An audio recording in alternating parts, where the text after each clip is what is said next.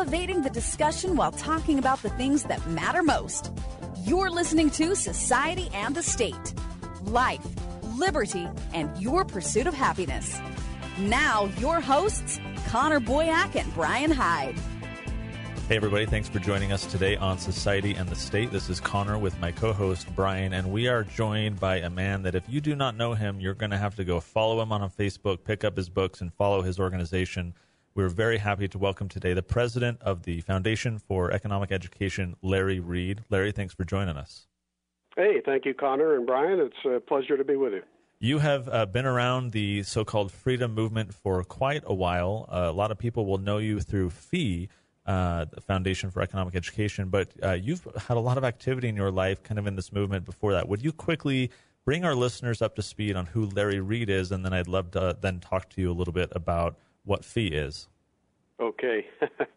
well, I first got involved in ideas of uh, individual liberty and responsible uh, government and personal character way back as a teenager.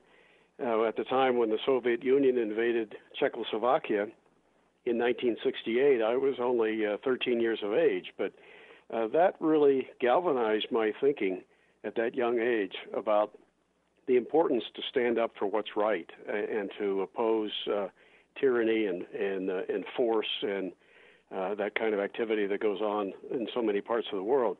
So I dedicated my life at that point to advancing these ideas. After uh, graduating from uh, grad school, I went on to uh, teach for seven years at the college level in Michigan. And then uh, after that, I ran a think tank in Idaho for three years, and then uh, moved back to Michigan, and uh, was the first president and served for 21 years as president of the Mackinac Center for Public Policy, mm-hmm. a uh, think tank devoted to Michigan issues. And then uh, after that, and just uh, nine years ago, I became president of the Foundation for economic education. But I've actually been involved with FEE uh, since 1968 when I first began reading FEE materials.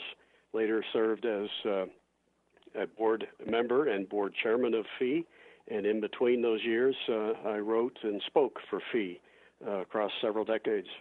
That's amazing. And, and yeah, FEE has been around for quite a while, as of course you well know. Um, and I sense that FEE has undergone, under your leadership, a bit of a transformation. FEE, for a long time, has put out great material for adults in a magazine. Uh, you've done these speaking engagements and so forth, but the audience has always been um, kind of an older audience, perhaps one that was a little bit more versed in our ideas already. My and correct me if I'm wrong, but my impression is that the the more recent approach to FEE is that you're targeting a broader audience that isn't well versed in our issues, even perhaps a younger audience. Am I wrong in that? No, you're right. Uh, with emphasis on the the word younger, that is our emphasis now. We're focusing on high school and college students primarily. When we were founded in 1946 in uh, Irvington, New York, we were the first uh, think tank of its kind with a message of individual liberty, free market economics, and so forth. And uh, uh, for a time, being completely alone, uh, the, the whole world was our audience. But in more recent decades, lots of other groups have formed uh, in all 50 states and beyond uh, to focus on some some of the same ideas. So, a few years ago, uh, since I've been president, we decided to rethink our mission, our focus, and our targeted audience, and we decided that the uh, the niche that we were best able to fill uh, and the most underserved market we felt were young newcomers to these ideas, uh, high school and college students who have not heard uh, much of anything about uh, ideas of liberty, free markets, and so forth. Uh, so that's been our focus since. We're trying to market these ideas uh, to young audiences who are newcomers so, a question I have for you. Well, actually, I'm going to lavish some praise on you first, Larry. Then I'll ask you a question. Um, I have become a regular subscriber to the articles that are published on your your online website, and so every time one comes up, I get a notification. And I, I share things very selectively on social media. I don't share things with the intention of starting an argument or you know fomenting any conflict. But I find that uh, the articles that FEE is publishing are almost always the more informative for people at every level of understanding. And so I, I really have come to rely on the information that you're putting out. Can you tell us a little bit oh, about the, the, the, writers and the, the, the staff that you have to, um, to comment on this information and, and to disseminate it? I'd be happy to. We have a staff now of 26 uh, full time people. Of course, they are not all writers, some are in uh, other departments, programs, development, and so forth. Our editorial department consists of four people full time, uh, whose focus it is to find good authors and uh, and good articles. Sometimes we repost uh, things that have been published elsewhere. Most of the time, it's original uh, with us, and the authors tend to be uh, really of all ages. But one criteria that we require is that they write in a way that can engage our targeted demographic, you know, young people of high school and college age. And we try to focus on current events. At the same time, uh, provide a, an occasional selection from uh, classic uh, material that uh, we may have published before. Um, and we also focus on specific issues, uh, as well as the basic economic education that we've always been known for. So we have quite a potpourri of, of authors and of subjects that we cover. Larry, many people will be familiar with FEE as a result of its founder, whose name they probably don't know, even if they know one of his more popular works, I Pencil, the autobiography of the pencil that talks about the free market, written by Leonard Read, a man who, if I'm not mistaken, wrote uh, you know over two dozen, I think, books and, and essays yes. and so forth. Give us a little insight on Leonard Read. I fear that many people don't know much about him. Can you give us a little quick biography? I'd be happy to. He was a remarkable man. I knew him in the last seven years of his life. He founded FEE in 1946 and served as its president until his passing in 1983. And Leonard had previously been with the Los Angeles Chamber of Commerce, although he was a native of Michigan. But while he was at the chamber in L.A., uh, he came across a man named Bill Mullendore, who basically said to him, uh, Leonard, you're suited for better work than this.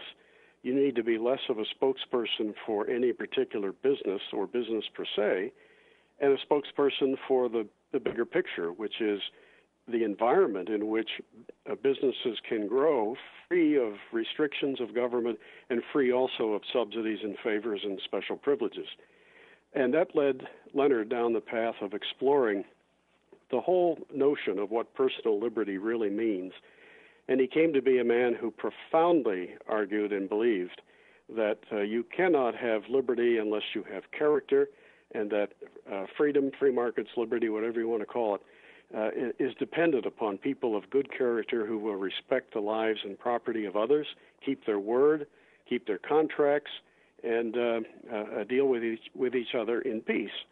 And so he built FEE uh, from nothing as the first uh, think tank devoted to these ideas, and was just quite a remarkable man. He left an indelible imprint on uh, our organization uh, in so many ways, not just his philosophy, but his mannerisms, his style. I mean, he was never one to try to force ideas on people. He tried to make his own persuasiveness so good that people sought him out and wanted to hear his opinion, and he was respectful of others at the same time.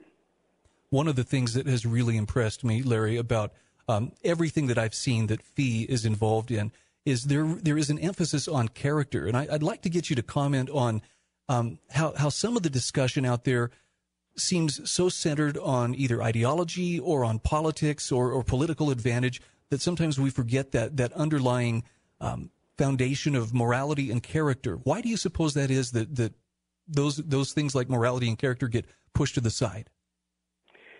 I'm not sure where uh, we went astray in all this, but there was a time in American history when advocates uh, for liberty really felt that it was sort of a natural outgrowth of character, that responsible people who keep their word and respect the lives and property and contracts of others uh, would naturally be then supportive of a system that allowed for widespread uh, individual freedom of choice and private enterprise. But somewhere along the way, uh, even those who believed in liberty began to focus more narrowly on sort of a material argument or materialistic the notion that well you should be for liberty or free markets because it they produce the most stuff.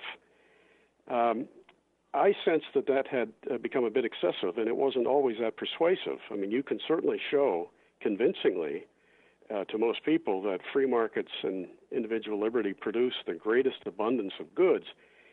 But uh, there's a higher calling, I think, and that is to what is the moral thing to do? And so I felt at Fee that it was time for us to dust off that connection and reemphasize it. So that's why it's today a, a, a far more important uh, aspect of what we do.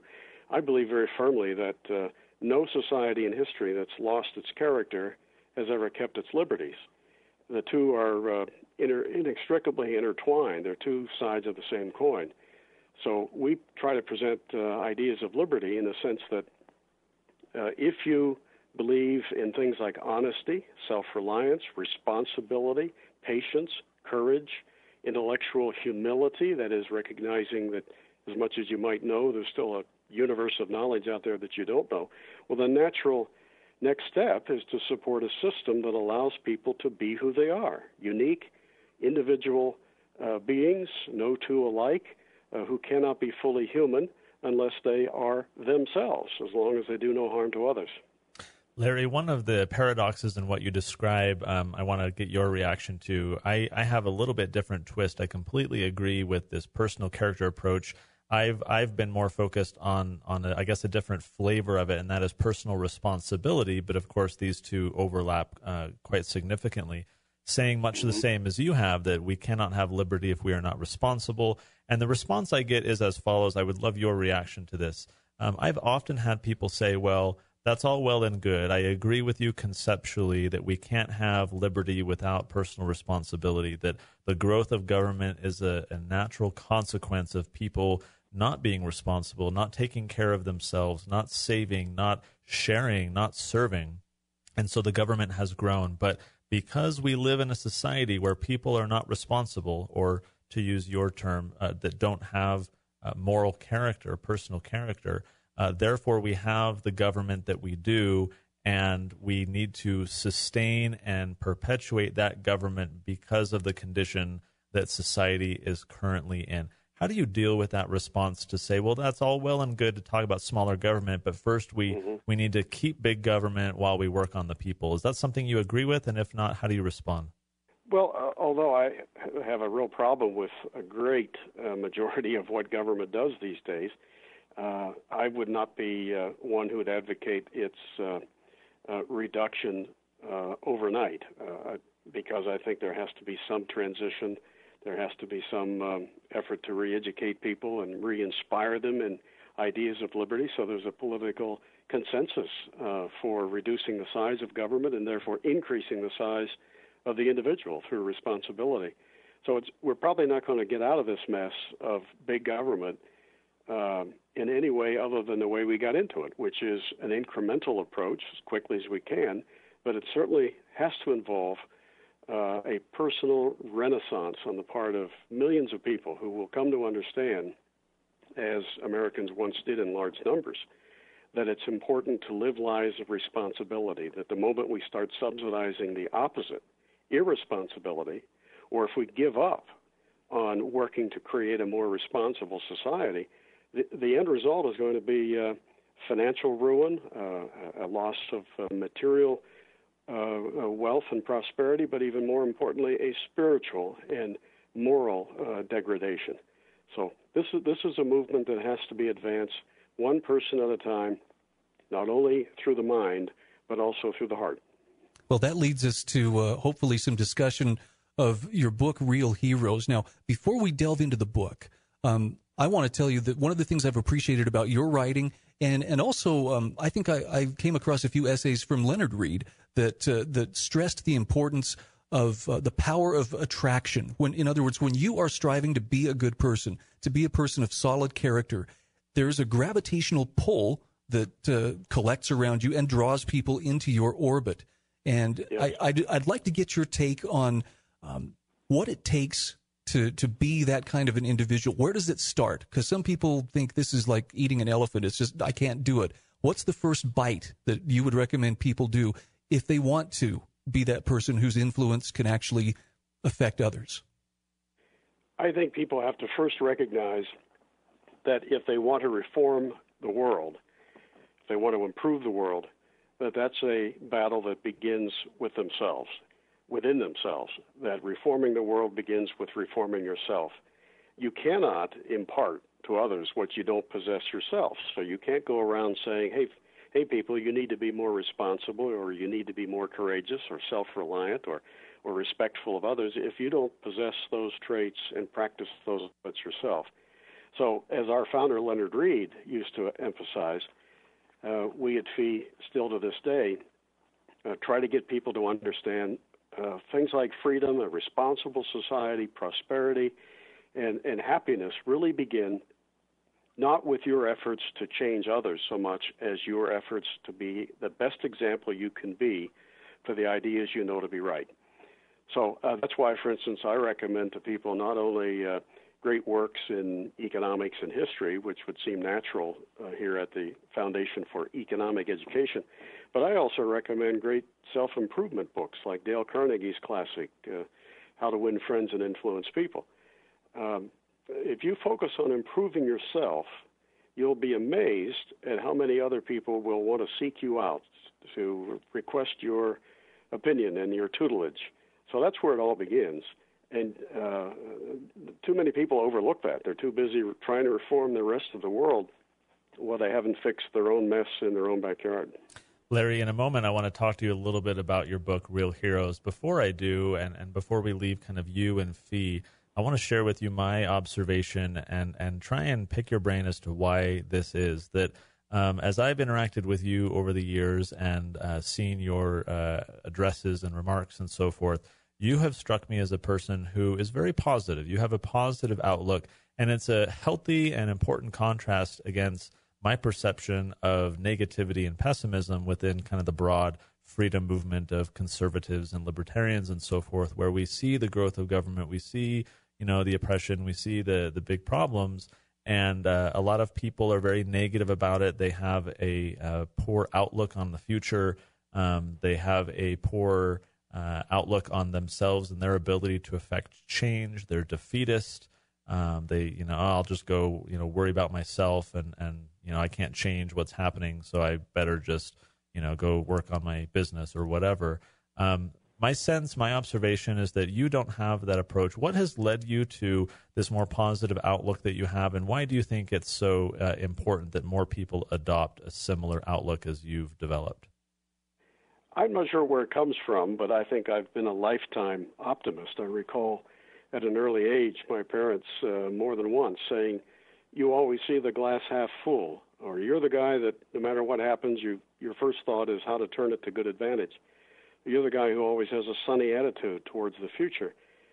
So, uh, with for me, maybe that comes naturally, but over the years, I've learned that uh, you can train yourself to be an optimist, and you should do so, because to be a pessimist, just the opposite of, of an optimist, uh, is to work against the very objectives you say you want to achieve in life. Uh, two things happen if you become pessimistic. And the first thing is you don't work as hard for what you know to be right, for the values you say you believe in. Uh, you kind of, uh, you know, subconsciously, if not overtly, give up on the things you say you believe in. And secondly, uh, you're not going to be a very effective advocate for advocate for those ideas with other people uh, people want to know they're signing on to a cause that has a chance to win. And if you sound like you've given up on it before they even sign on, uh, you're working against your own objectives. Uh, but I think it's part of mental health too. Uh, you, you should have a sunny, positive outlook because you can make a difference. The world can be made better, but that starts with people who believe it can and work toward that end. It doesn't happen from people who uh, have given up before they even start.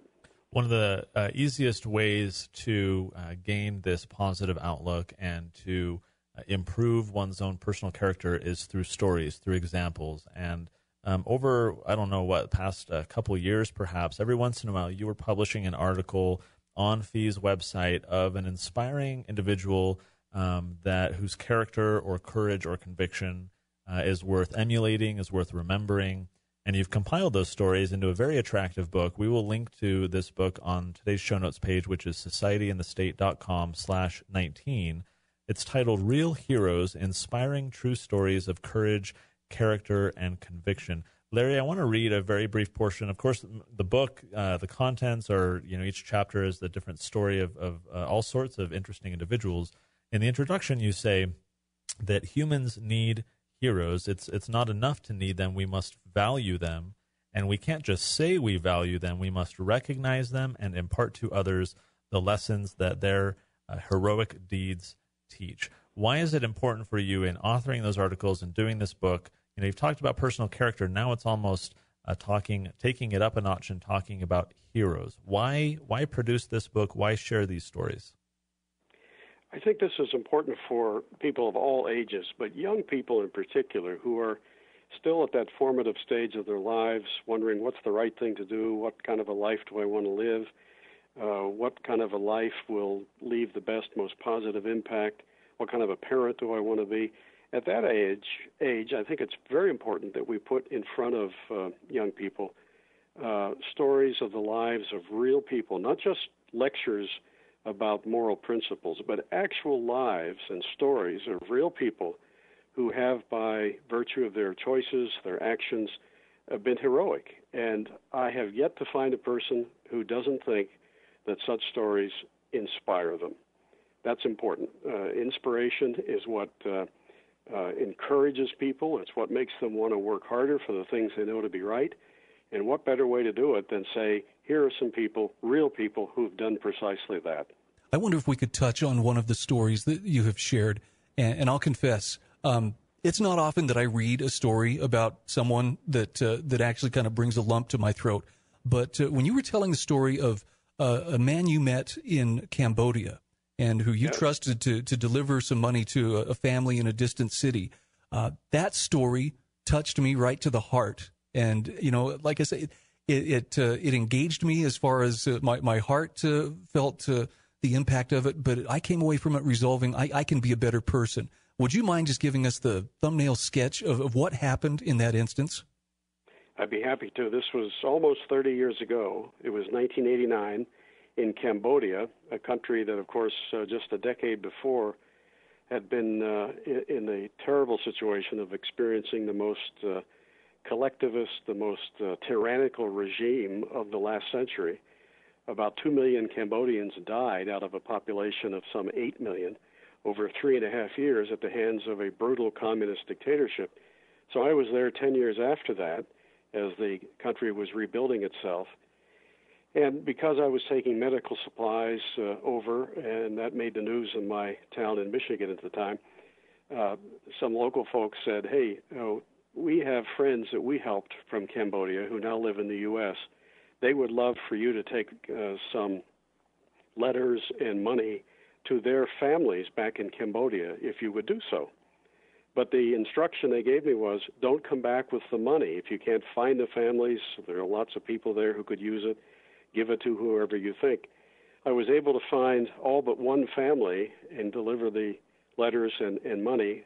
The one I couldn't find was too far away. So the night before I left the country, I thought, who am I going to give this to? I gave it to a man who spoke uh, some decent English, who seemed friendly. I had a feeling that he was a good guy, good man. And I told him, if you can get this $200 in this letter uh, to these family, this family in Battambang, Cambodia, several hours away. You can keep fifty dollars of it. And then I left the country, and uh, just figuring that, well, who knows if it'll ever get there, but if he keeps it, he needs it too. Then about six months later, uh, the lady who first contacted me about taking that material over there called me all excited. She said, "I have a letter from one of the families here in the U.S. that sent that uh, the money over to Cambodia with you, and here's a letter from a family that uh, you couldn't meet, and a particular paragraph I want you to hear. And she said, as she read the letter, she said, Thank you for the $200. In other words, that desperately poor man that I gave the money to not only got it to the people for whom it was intended, he didn't even keep the $50 that I told him he could keep. And ever since I've thought, my gosh, if I ever was in a position where I, I thought my life was dependent upon that man, I would trust him uh, with my very life. I mean, there's a guy who, you know, who knows what most people would have done, but he went out of his way to do the right thing with no credit other than probably the grateful thanks of the family he delivered the money to. Didn't even keep the 50 I told him he could have.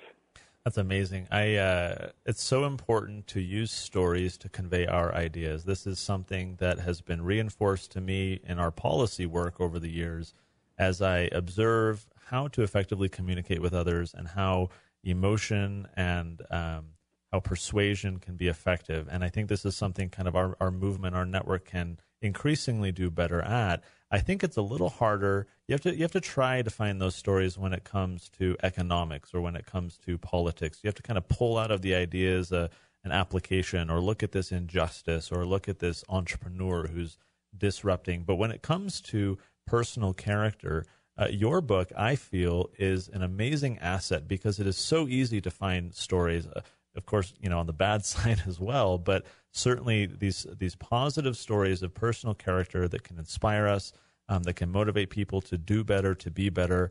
Um, Larry, is there? Talk to us about the effect of this book. How are you using it? How are you getting it out there? And what's your intent with with publishing this for the world? What do you hope by by sharing this? Well, I hope to inspire people to higher levels of of character. I hope that people will read the book and say, wow, wouldn't it be great to live in a world where more people are half as honest as the Cambodian that we just talked about? Wouldn't it be great to live in a world where people had the courage to stand up for what they know to be right, to speak truth to power, to pass on to their kids and grandkids uh, uh, the things they know to be right, a, f- a free and prosperous country devoted to all the right values. Uh, that's what I hope. I, there's nothing negative in the book at all, other than other than the stories of sometimes very bad things that happen to good people. But the message is uplifting, and I think that's what's necessary to get people to aspire to higher levels of character. They need to be uh, inspired and uh, uplifted, and the best way to do that, I, I think, is to do it through examples of people who've done it themselves in a world full of problems, I think it's fair to say that we need all the motivation and inspiration we can get. So, Larry, thank you for your work. Uh, thank you for your attitude and your example. We will link to your book um, and some of the other things that we've discussed today on the show notes page, which is societyandthestate.com slash 19. Um, and hopefully everyone who doesn't know Larry or Fee yet will go uh, remedy that problem post haste. Larry, thank you for joining us today. Thank you, Connor, and thank you for all the good work you do. I'm one of your biggest fans. I really appreciate it. Thanks again. You've been listening to Society and the State. For show notes, archives, and more great content, visit societyandthestate.com.